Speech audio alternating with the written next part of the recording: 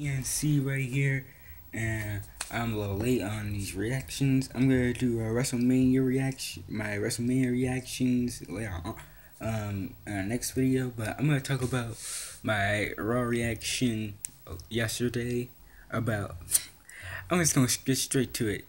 Yesterday on Monday Night Raw, when Roman came out, everybody was like, they didn't care. They weren't gonna like Roman sucks. They were like F you Roman and they didn't say F you.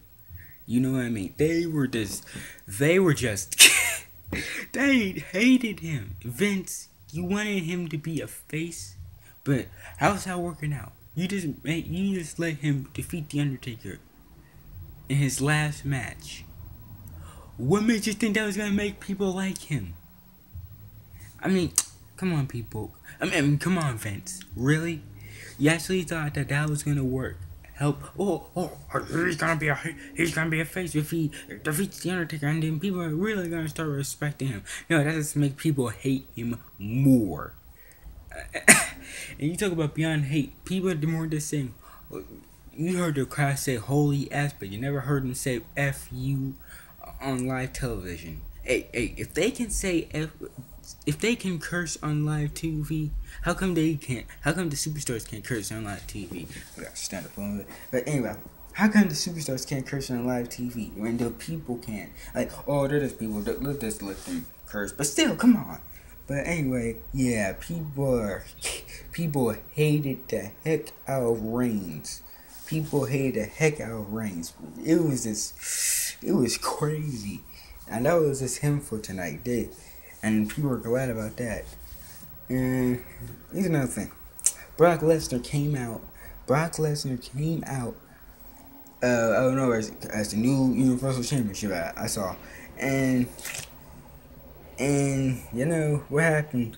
He he he, him and Paul Heyman basically explained like how they want to face Roman they basically want to face Roman because like he's the second man to defeat the Undertaker. And now he wants now he wants to be the two only men to defeat the Undertaker at WrestleMania, one on one.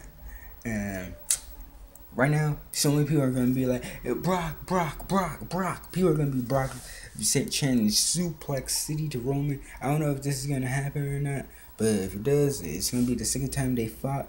And we never actually see, we never actually seen a winner between that match at WrestleMania 31, it, Seth cashed in, pinned Roman, and Lesnar. They Lesnar or Lesnar and Reigns didn't actually beat each other, and but who knows? We might see a winner on this, and I'm going. I'm going full scale Brock Lesnar because I'm still mad.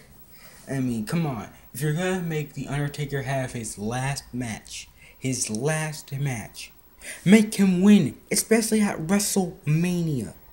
Not, not make his last match an L. An L. Well, at least there's some highlights. At least there's some good parts to WrestleMania. Like I said, I'll do my WrestleMania reactions on my other video. But yeah, tell me what you think about Roman. Because right now, I'm a little mad. I like Roman, but yeah, I'm a little pissed off. And I'm pissed off at Vince. He keeps doing everything he can and wants.